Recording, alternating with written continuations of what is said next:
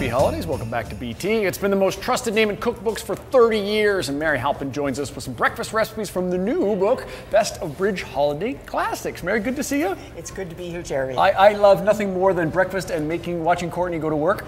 well, Yeah. you know Get her what? We decided we'd get Courtney started because this is the the consummate breakfast. We call it Christmas morning wife saver because you make it the night before, and in the morning you look like a star because it's already done. Awesome. So you start off with, um, first of all, you, you, it's a strata. So you make layers, and then on top you pour eggs with spices. So I'm going to get you to whip the eggs. You got it. And um, then add the uh, spices as you go along. We're adding, um, uh, we've got six eggs. We're adding four cups, three cups of milk, and some mustard, Tabasco, and Worcester. And you just get to go do that. Get some air in Okay. those, Courtney. And- Get yeah. those. I want those light Okay, eggs. Get some air in there. Exactly. She, there's a little talent there, I can tell. She's A got it. She bit. says she's just working on learning. Because we were joking around about that, but you said this cookbook really is designed for those that really don't know a whole lot about Yeah, stuff because in the we were young mothers when we did this, and we chose the recipes that we knew worked. So that's why the book and the recipes do well.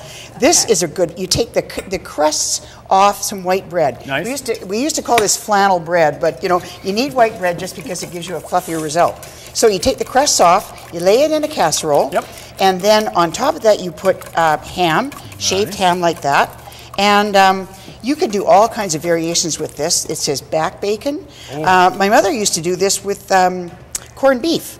So Oh. you can put as much beef and beef, be uh, ham in this as you want. This is going in. I'm sorry, I don't want to mess this up. Absolutely, Yeah? good job. Okay. and then the Worcester, and the, just a couple of shakes of that, and the same with the Worcester, about a teaspoon. On top of the ham, we're going to put some grated cheese. Nice. Now, cheddar is the operative word here, Mm-hmm. and you can do it in slices or you can do it grated, whatever's easy. Because you know what? It doesn't matter how you do this recipe; it never fails. Is it because cheddar makes it better, Mary? Absolutely. You've been watching some cooking show. so, and then on top of this, the next layer. Okay. And that's why it's called a strata because it's uh, it's sort of like a ham and cheese sandwich. Yeah. And um, the the beautiful part about this recipe is that families and kids love it. In fact, my kids like to come to the cottage and have this in the summertime. And uh, Why not? If we've been playing the night before, we can get up in the morning and have a good breakfast with no problem. Great Now, on top of that, we're going to put the eggs. So uh, here, Courtney. Pour Why it don't all you just pour it all over the top like that? Okay, Mary, let me ask about uh, the bridge, Best of Bridge. Literally started as a bunch of ladies who played bridge together and said, you know what, darn it, we're good cooks. We should make a cookbook. And that's exactly No. what happened. And then somebody said we should call it the best of bridge, and because the best part of bridge was eating. But that was the first publishing mistake we made because we had to spend two years explaining you don't have to play bridge to use our cookbook. Right. now, on top of that, we have a mixture of uh, onions and chopped up green peppers.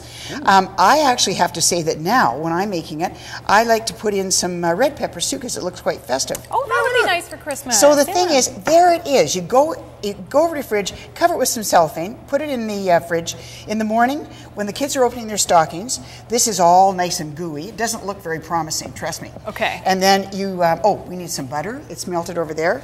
Actually, what, did you put the butter in? Ooh, no, no, yeah. no. You see, that's the best part about it is it's all going to work as long as you have the the the, uh, the grease from the butter in there. It'll work. Okay, Listen, sorry. one time I did this, I forgot the cheese, so I had to stick the cheese in afterwards. So I At least can't- we remember the cheese. Yeah, Courtney, see, you know, Courtney, you're learning. That's okay, really that's good. right. You're right. Because you have to make mistakes in the kitchen to get yeah, better. I promise okay? you it's going to work. Okay, all right, And I then on top, you if you have some breakfast cereal, like this is uh, Special K or cornflakes. This is before you cook it? Uh, this is before you put it in Oh, the right. oven. And I have to say that now my kids are gone. I never have any of this kind of cereal around anymore, so mm-hmm. I just use crunched up taco chips. Oh yeah. You can you can do your own variations of this. That sounds better Trust me. than the frosted This might bridge. be called Courtney's Christmas Running lifesaver because there's a variation in the menu. That's right. I created this. You see that? See?